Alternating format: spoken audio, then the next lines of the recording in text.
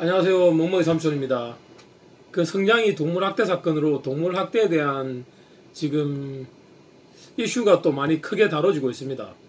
지금 성냥이가 이렇게 어저께 방송을 보니까 이제 그런 이야기를 해요.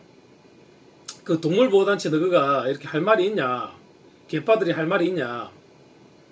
너그는 동물보호를 한다 치고 동물보호를 외치면서 소고기 돼지고기 먹지 않느냐? 동물보호를 외쳐놓고는 개를 학대하자 말자 마- 학대하지 마라 해놓고는 뒤풀이에서 돼지고기 구워 먹고 소고기 구워 먹지 않느냐? 너가 할 말이 있냐?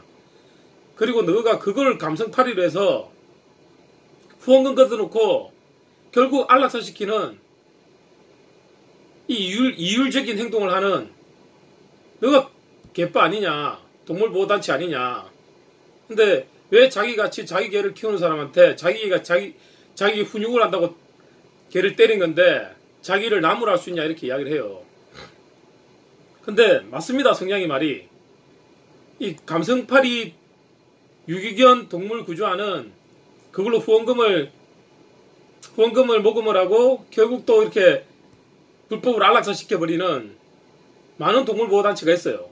그리고 그런 유튜브들이 많이 있습니다, 지금.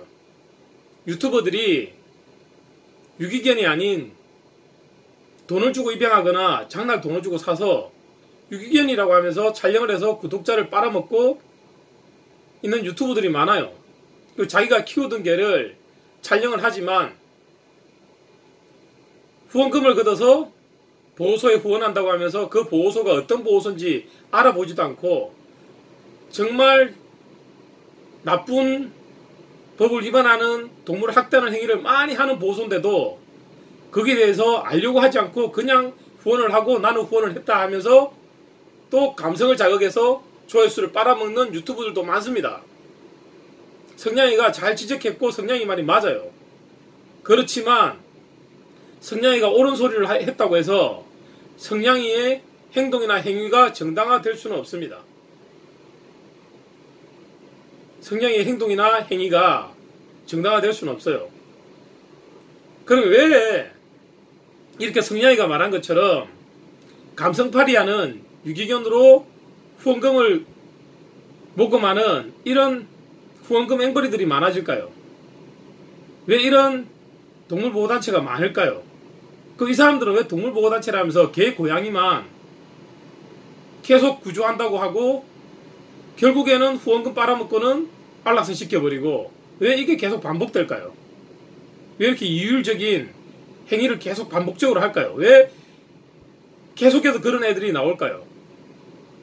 이건 우리나라 사람들이 측은지심이 되게 강해요.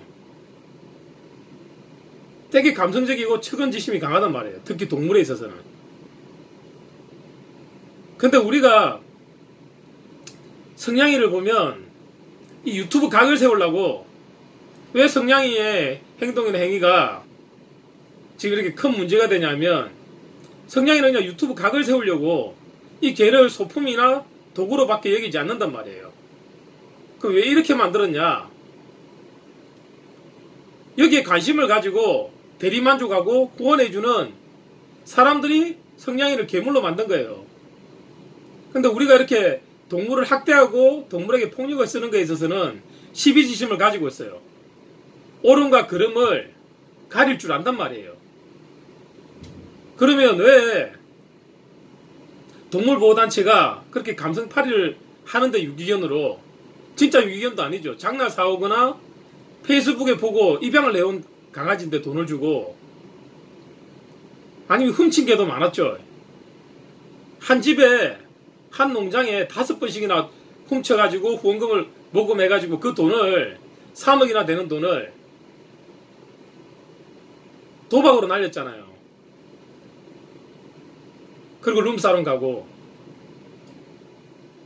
근데 왜 여기서는 우리가 이렇게 냉정하게 성냥이를 보듯이 보지 않냐 이거죠. 시비지심이라 그랬잖아요. 옳음과 그름을 가릴 줄 아는 마음이라고. 근데 우리가 동물 폭력하는 성향에 대해서는 시비지심을 가지고 보는데 옳고 그름을 우리가 알잖아요. 국민청원까지 가고. 근데 왜 이 감성파리들은 계속해서 다시 만들어지냐 이거죠.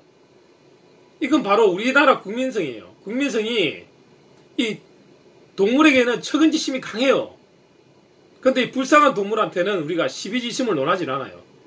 척은지심만 논하지 척은애하고 도울 방법만 찾지 이 불쌍한 불쌍해 보이는 개한테는 우리가 시비지심 옳은가 그름을 가리는 것조차 죄책감을 느끼는 거예요. 우리나라 사람들은 당연히 옳고 그름을 가려야 되지만 우리가 죄책감을 가진다고요.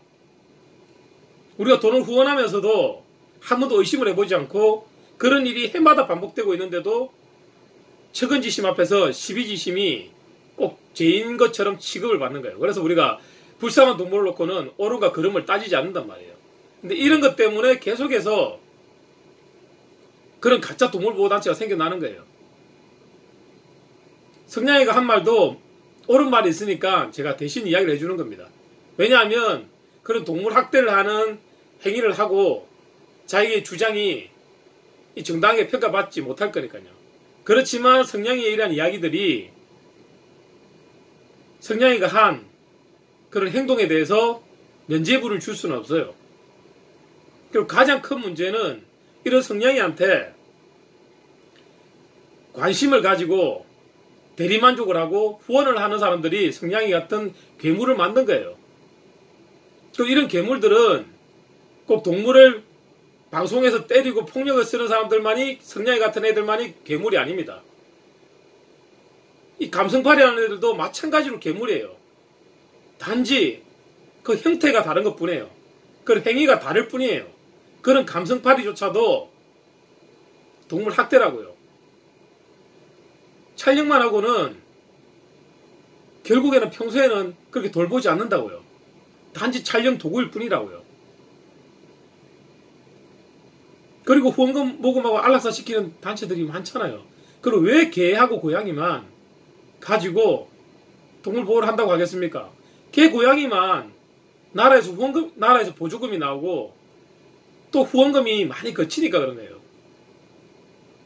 우리가 이걸 막으려면 측은지심에 앞서서 시비지심을 가려야 되고 시비지심을 따져야 되고 옳고 그름을 가려야 된다는 거예요. 그리고 석양이 같은 괴물이 나오지 않으려면 우리가 어떤 사람들이 과연 이런 폭력 앞에서 개를 학대하는 동물 학대 앞에서 관심을 가지고 좋아요를 누르고 대리만족을 하고 후원을 하는지 똑똑히 우리가 봐야 됩니다. 그런 사람들이 있으면 제2, 제3의 성냥이는 계속해서 또 나옵니다. 그리고 성냥이가 말한 것처럼 동물 보호단체 감성파리도 우리가 척은지심만 가지고 있으면 제2, 제3의 감성파리 하는 동물 보호단체가 계속 나옵니다. 꼭 한번 우리가 생각을 해보시고 성냥이도 옳은말 하면 옳은말 한 것도 이렇게 생각을 한번 해보세요. 성냥이가 아무리 나쁜 동물 학대를 했지만 그렇지만 성냥이의 행동은 용서받을 수 없는 거고 제2, 제3의 성냥이를 만들지 않기 위해서는 후원을 하시면 안 돼요. 여기까지 하겠습니다. 안녕.